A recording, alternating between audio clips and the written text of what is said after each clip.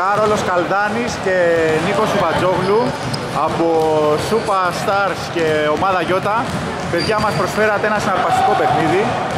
Ε, οι Super Stars καταφέρατε να πάρετε την νίκη. Ναι, πήραμε την νίκη. Συγχαρητήρια για την άνοδο. Την άνοδο. Ε, δεν έχω σχολιάσει κάτι το παιχνίδι. Το μόνο που θέλω να πω είναι πολλά μπράβο στην ομάδα Γιώτα. Τέτοιες ομάδες αξίζει να υπάρχουν σε κάθε όμιλο. Γιατί όταν παίζεις με τους καλύτερους γίνεις καλύτερος. Και καλή συνέχεια παιδιά. Εγώ αυτό ήθελα να πω κάτι άλλο. Νίκο, Οι τιμένοι δεν έχουν κάτι να πούνε. Οι νικητές, τα είπαμε. ευχαριστώ πολύ.